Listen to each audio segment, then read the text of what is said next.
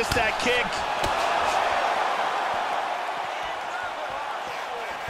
All right, so there's the swing and a miss from him. Oh! And just like that, the fight is over.